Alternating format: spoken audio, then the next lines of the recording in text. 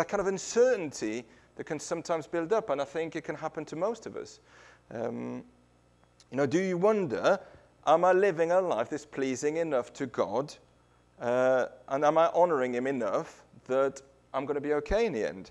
Am I obeying God's commands enough?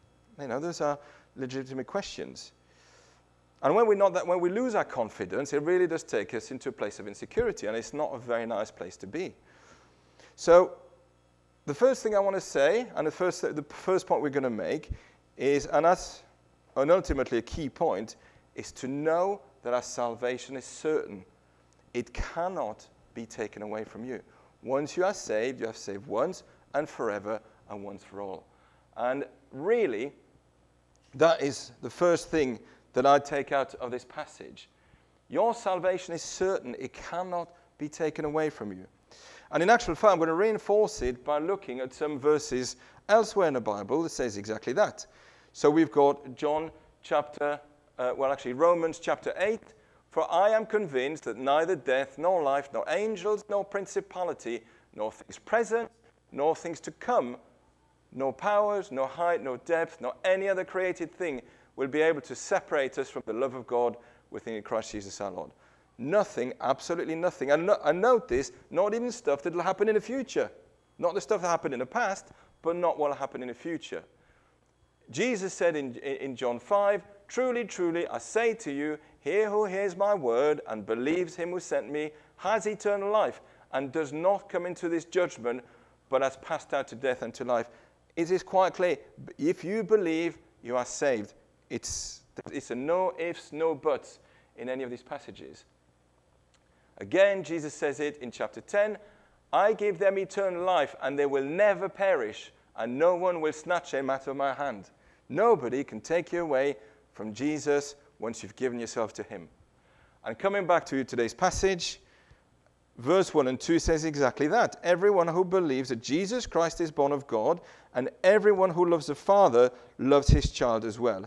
This is how we know that we love the children of God by loving and carrying out his commands. And that's going to feed us to the rest. But that's where John starts. Look, it's a dead cert. You believe, you saved, end of. And that actually is a distinguishing factor with every other world religion, is that absolute certainty of your salvation. A Muslim doesn't know for sure until the end. A Hindu doesn't know what he's going to be reincarnated in, or Buddhist, not sure. Anyway, doesn't matter. I mean, potentially even a Catholic person has got this worry have I done enough good stuff in my life to be right? And you go back to the ancient Egyptians. Do you remember the ancient Egyptians with their gods? If you look at what went, when they died, there was a scale. How much good? Always going the right way. Oh, how much bad? Did I steal? No. Did I? Steal? And it's, it's all world religion. They've got this balance, and hopefully the scales will balance the right way, and you'll make it to heaven. None of that. Your assurance of salvation is a dead cert. Jesus did it once and for all, and that's absolutely incredible. So, if you ever feel uncertain, just remind yourself of this. Nothing is more certain in life than death, taxes, and your salvation. I like that one. Always, people always say that uh, death and taxes. Well, death, taxes, and your salvation are the three things you can be sure of in your life. Um, and if you don't do the second, you know you'll be in trouble at some point. But once, you, once you've done that, once you've reassured yourself, you're good.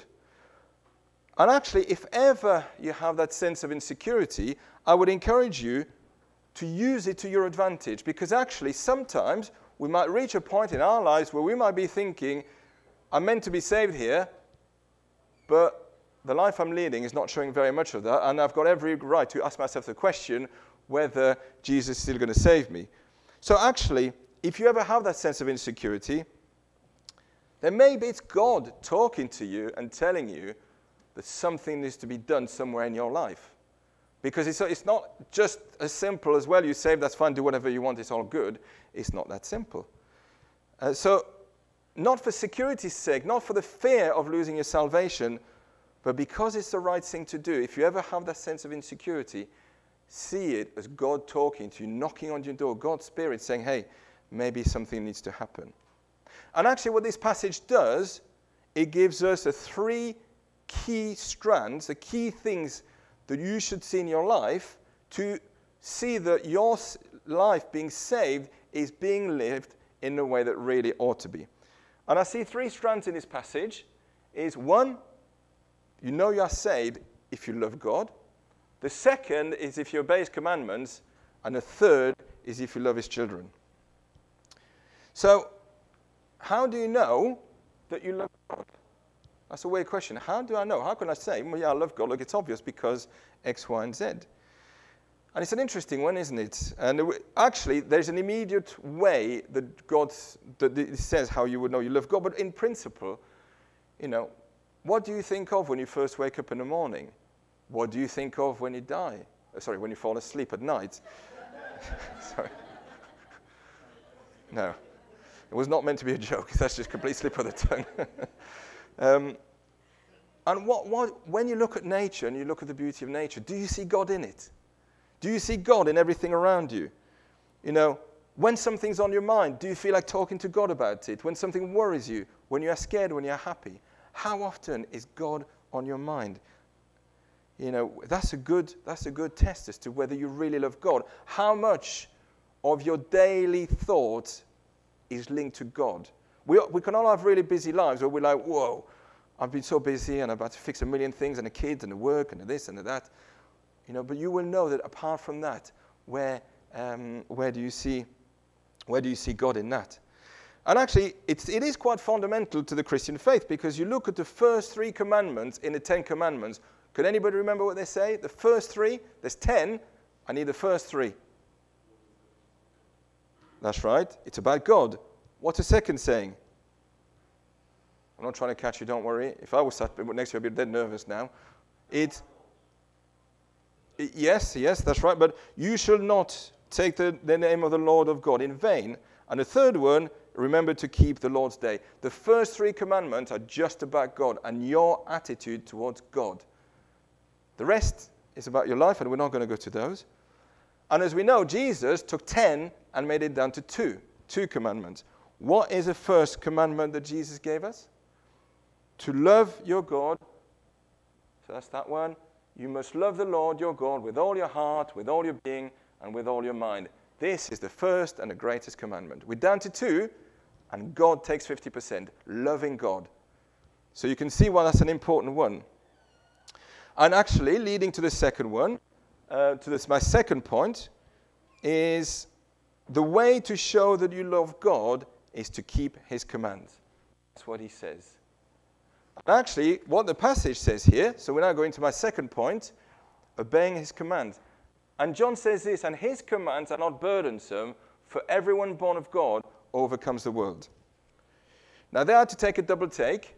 I don't know if you all agree with that point, that to follow God's command is not burdensome. It's a really key, you know, I almost passed it by, but I thought, oh, it is not burdensome to obey God's commands. Well, when I have to get up on a Sunday morning to be here to church for 10.30 rather than having a lie-in, is that not burdensome? The Bible tells us to give away 10% of what we earn. Is that not burdensome? I can't even swear. Is that not burdensome? And I can't even explore my sexual desires because the Bible tells me that, and it's at odds with God's commands. And that's just to start. If I'm reflecting really honestly, when I read this passage, it's not burdensome to follow God's commands. You could look at it and say, don't agree with that. Don't agree with that at all. But actually, Jesus himself said something almost identical um, when he spoke in Matthew 11. Jesus said this For my yoke is easy and my burden is light. So Jesus was of that opinion as well, that being a Christian, following God, is not burdensome. So what's a yoke, by the way? Um, it's not something we use quite commonly. I feel it's going to be really patronizing, but do they still use yokes in the fields in India? On, do they manually um, plow? So yoke is what you put on uh, the cattle and to fit the equipment to then plow the fields, etc., etc. So yoke is that thing you stick on your shoulder and you're going to pull. So of course that might feel really hard work to pull that, but Jesus is using that illustration to say that my yoke is easy, my burden is light. So John and Jesus saying actually, following God's commands is not meant to be difficult. And I wanted to stop really and linger on this burdensome because it's a really big deal in living our lives, isn't it?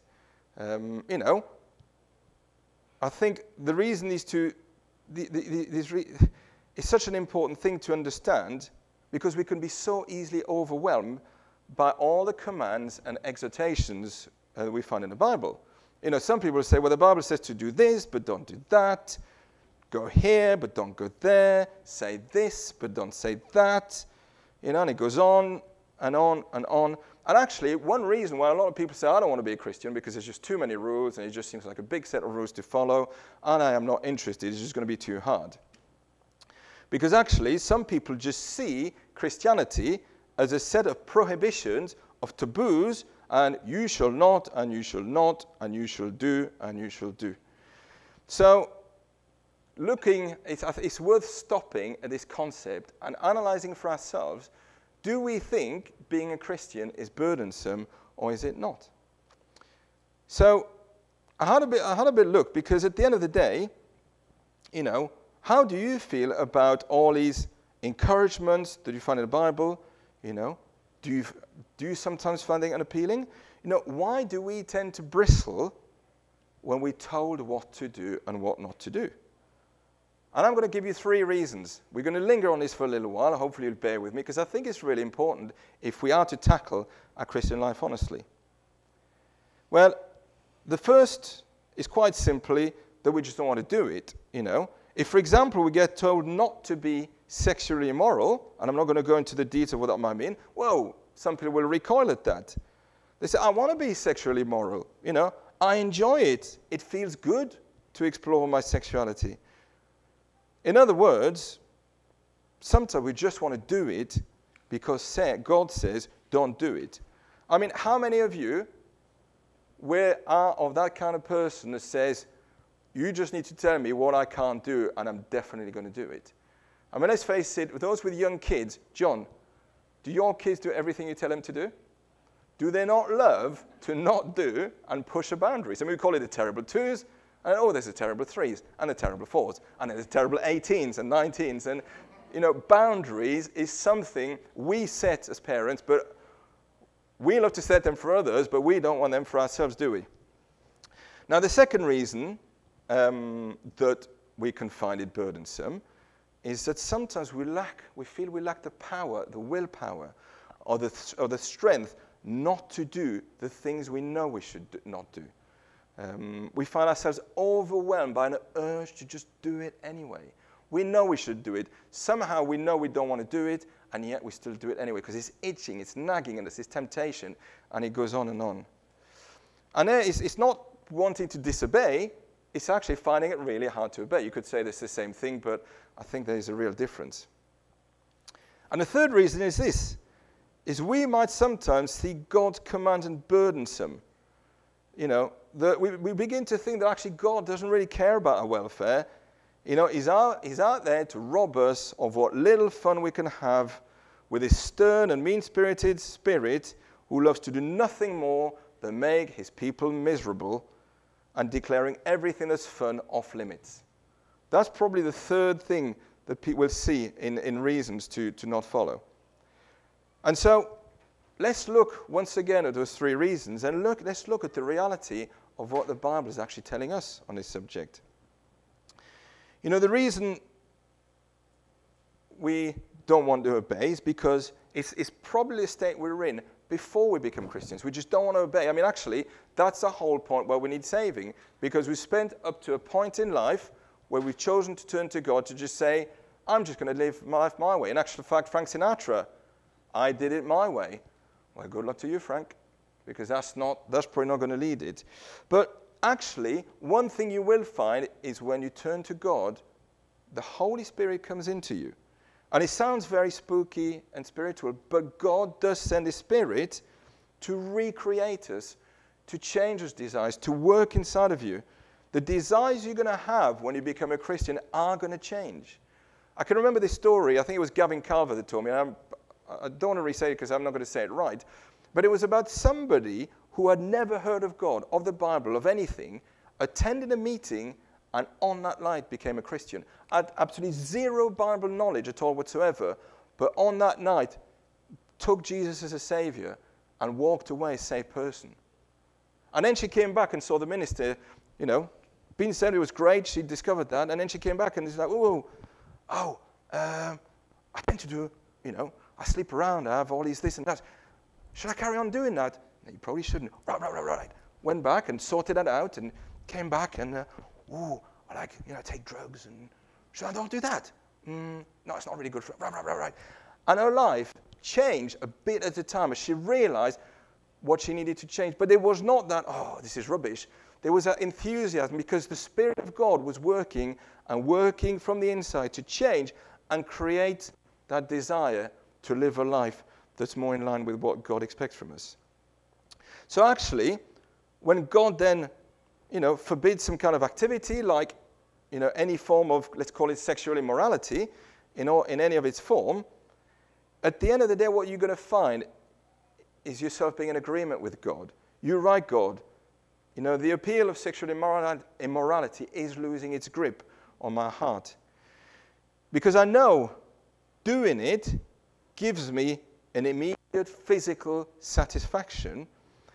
But if I come to discover that the pleasures of obedience and fellowship with God are far, far more satisfying than the short term pleasures of disobedience, that is when you will realize the true fulfillment you can feel in your life. There is absolutely no doubt, and I'm sure we can all testify it, when we disobey, when we do it wrong, what comes after is not usually the best of feelings. It's not a great feeling at all. The temptation was good, the allure was good, and possibly the moment was good, but what comes after is really not so great at all. And actually, years of being a Christian, I've confirmed that so many times.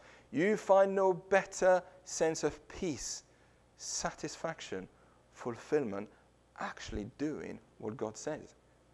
So actually, I do not for one minute believe that God, the disobeying God, in any way brings me any joy, will ever bring me any joy. Quite the contrary, obedience, it will brings peace and joy and happiness. And forgive me for saying that, Catherine, but w- would it be fair to say you found a bit of that in your testimony on, on sorry, I'm not putting you on the spot, but you know, you, you, hearing you encouraged me in, in, in, in, in a thought in, in this front that in the end, walking away from God and doing it your own way, in the end, you don't feel joy. You don't feel peace. You don't feel satisfaction. It's like that little illustration with the money. I'll do it my way. I'll do it with my money. I'll make myself happy with my money. Don't work. That's not a sin, but it doesn't work. It doesn't work. Second reason this is now looking at our lack of strength and power. You might want to obey, but when a temptation can, you just feel it's just too hard to resist. It's just somehow it's eating up and you think the only way I'm going to get rid of this is just by doing it, and maybe the feeling, this itching feeling, will go away. It's so hard, the temptation. And yet, the Bible promises that God will provide us with everything we need to help us and empower us to resist. Look at this passage here. Uh, sorry, I'm going about 10 slides behind now. There we go. Oh, um, there we go to this one. So this is an interesting passage. Work out your own salvation with fear and trembling, for it is God who works in you, both to will and to work for his good pleasure. Now, just imagine for one minute the verse stopped at work out your own salvation with fear and trembling. Boom, ends there. That wouldn't be particularly good. In actual fact, that sounds horrible and burdensome again. It's like, oh, I'm going to scare you to death, human, because you're going to obey me. That would be quite awful. But it's the second half that tells us what we need to know. For it is God who works in you, both to will and to work for his good pleasure. God's working in us. There's like a whole construction site continuously going on in our lives. God's Spirit is continually working at us in a way that any naturalistic or materialistic person would never understand. There's a genuine spiritual element of something, a work that God is doing in your life, and He's equipping you. Look at what it says in Hebrew now may the God of peace, uh, who brought again from the dead, actually, in my notes, I've actually cut half of that. I'll say this. I'm going to read it.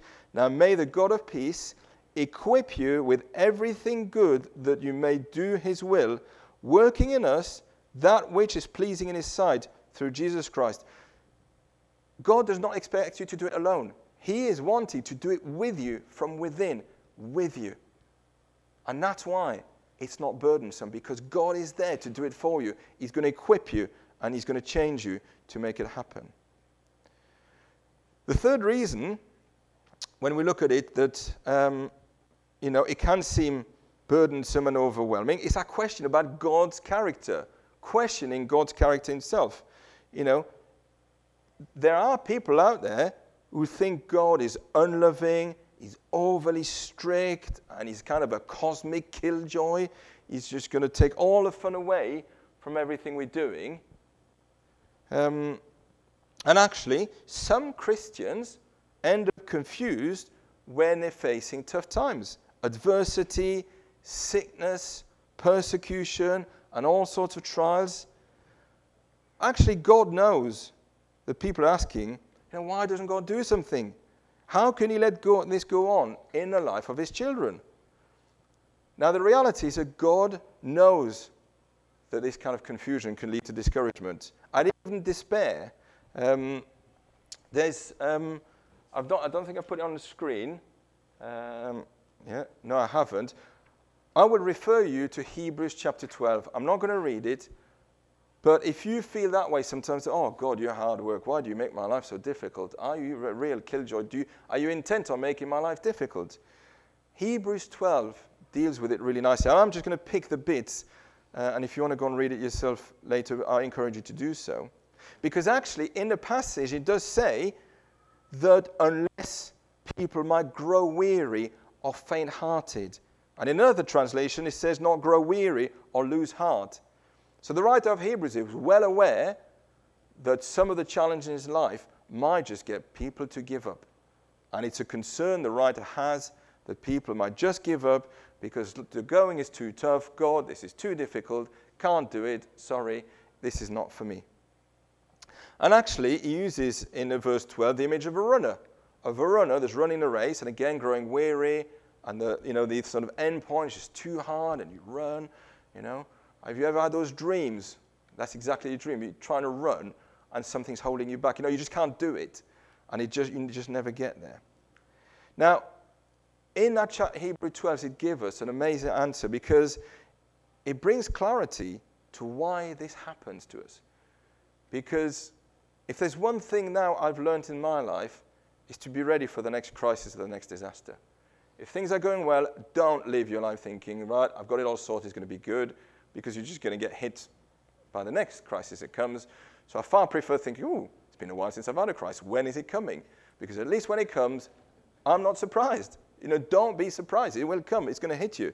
If you're riding that wave, that wave will run out. So, but that, that, that's how I deal with the fact that there are challenges in life. I'm not, I'm not going to pretend, and I'm not going to hope that the rest of my life uh, things are going to be perfect. So in, in, his answer is this you know, whether you're feeling physical pain or, or difficulties at work or financial difficulties or opposition from even people who, who are non believers who are having a go at you, giving you a hard time, it's not due to God's anger or because God's neglecting you. It's got nothing to do with that at all. Actually, what Hebrew 12 says, and you know, I encourage you to read it, is that actually these are almost ways to sharpen and build us and strengthen us. Adversity, which in this passage he calls discipline, is actually the expression of God's love and care and concern. Being put through a hard time is God's best way to build your faith. And in other words, in Hebrews 12, the point is that whatever struggles you encounter, whatever pain you endure, whatever discipline might seem to be coming our way through what you're going through, it is motivated by God's passionate love for us as His children. It's motivated by God's passionate love for us as His children. Now, we are grown up, most of us in this room, but we know with our kids some discipline, boundaries, you know. Well, you've disobeyed, you're grounded, you know, no phone. That's the worst punishment these days. No phone for a week. It's like a death pen- penalty for a, a, child these days. We're quite happy to give it to our kids, but when God gives it to us, it's like, whoa, hey, I'm grown up, don't discipline me anymore. I know, you know. No, actually, God, out of love for us, will discipline us in whatever way, shape, or form He's right to do it. So let's not think, again, for one minute, we are beyond that discipline, because if we do, when it comes, we're going we're to wonder what's hitting us. So it's not, when things are tough, when things don't go right, it's not because He's disappointed or irritated with us. It's because He's overwhelmingly loving us and devoted to our own welfare. Verse 6 in, in Hebrews 12 says, He loves those He disciplines. So that's to say, you know, if God commands you to do something or forbids you from participating, it's His way of showing His love. He's training you. He is disciplining you and He's educating you to live in such a way that your joy and your happiness and satisfaction will grow and expand and intensify. God is treating you as His beloved sons and daughters.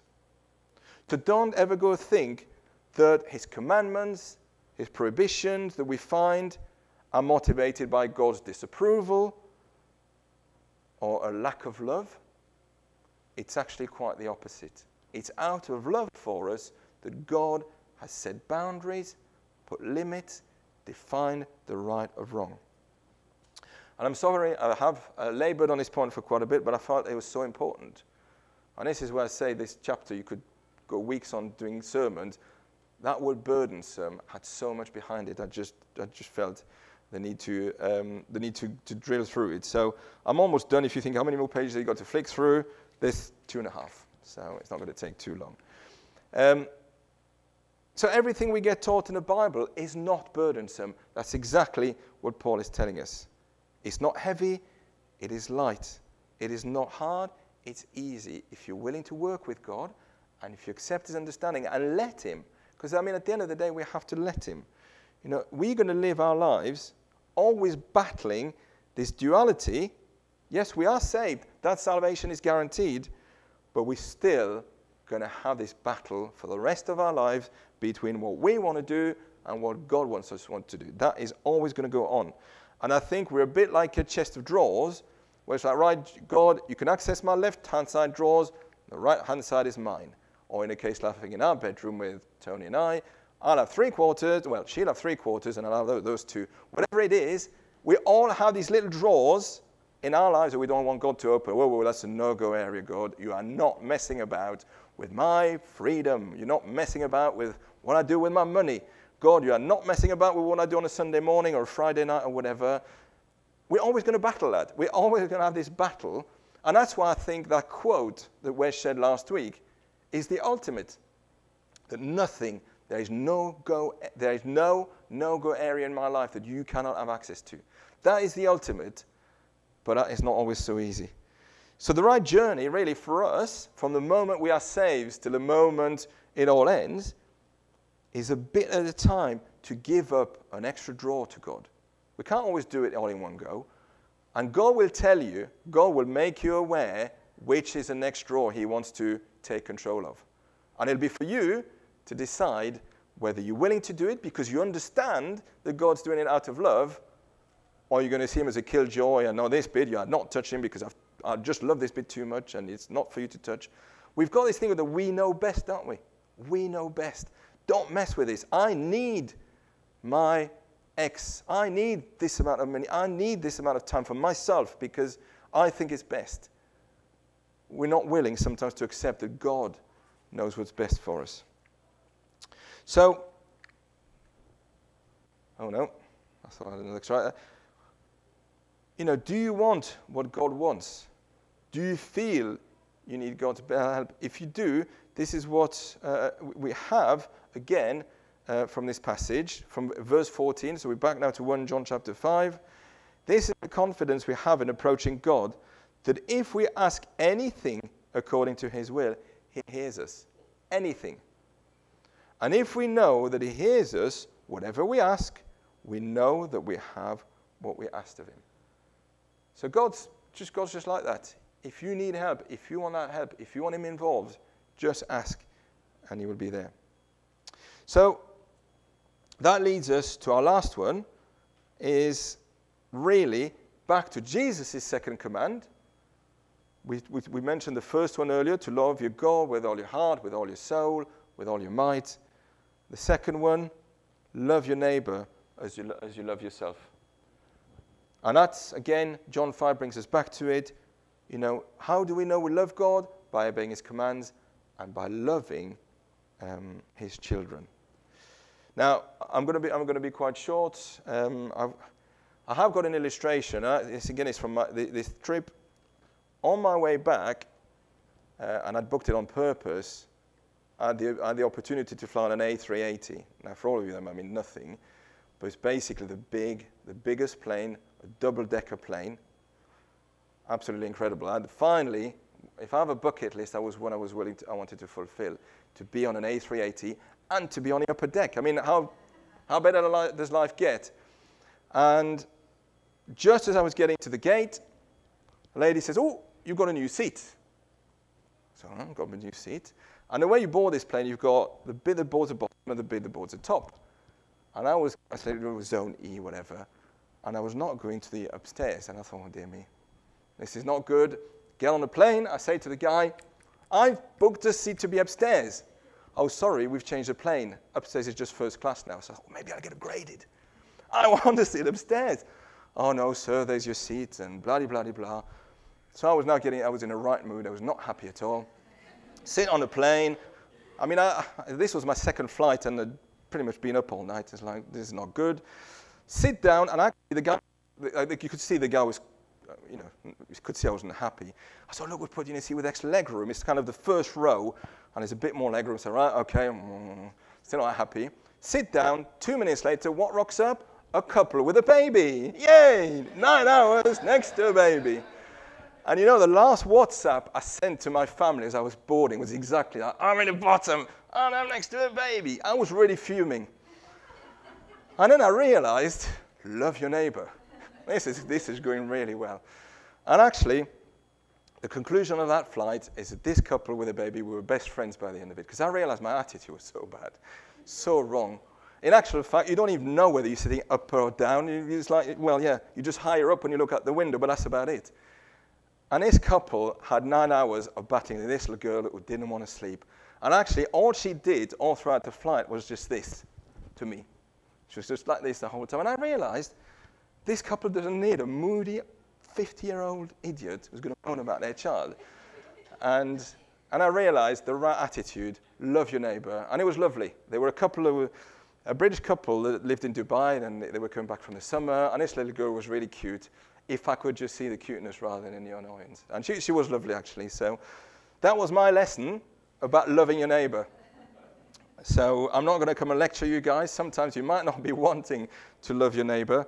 Uh, but that's what God wants us to do. And actually, again, it's when it hurts, when it's somebody we really, on face of it, do not like and do not want to like. And we can find lots of examples in our, in our lives. We can find lots of examples in our society. You know, BCM, go towards the people we probably want to love the least. You know, the right bottom of our society, the most marginalized, the people who stink, the people who, you know, are, are make us feel uncomfortable.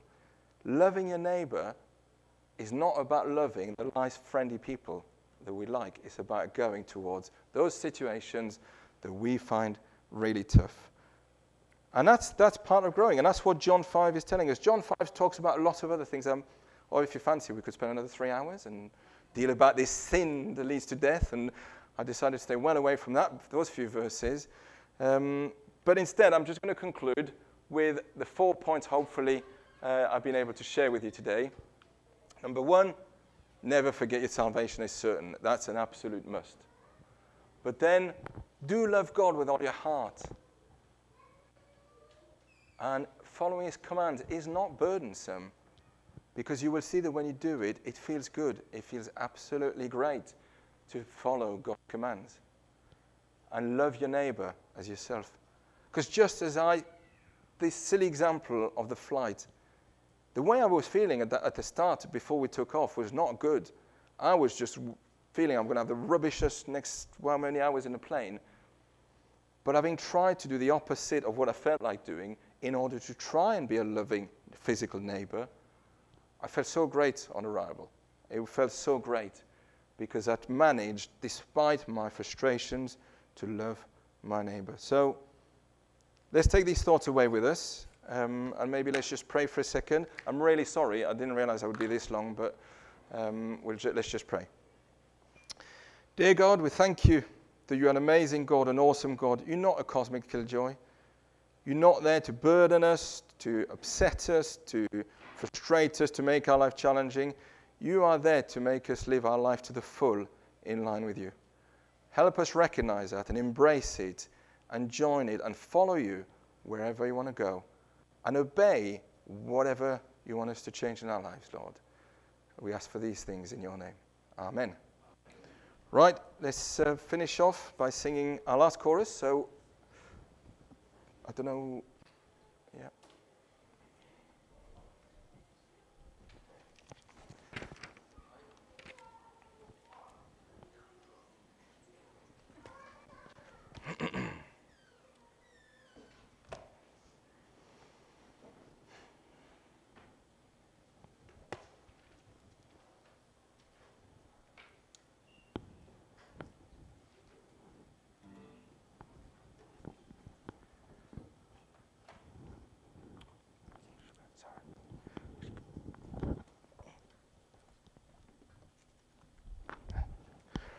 Let's stand up and sing after the introduction.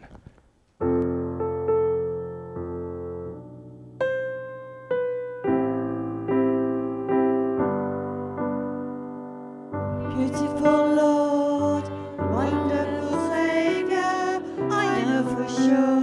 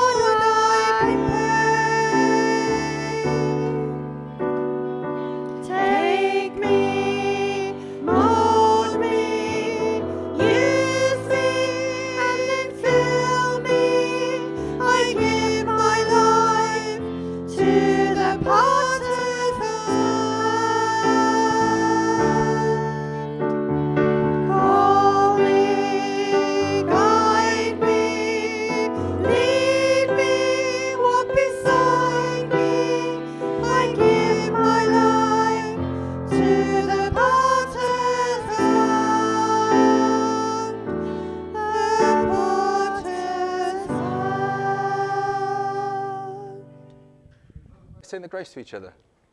May the grace of our Lord Jesus Christ and the love of God and the holy ship of the Holy Spirit be with us all evermore. Amen.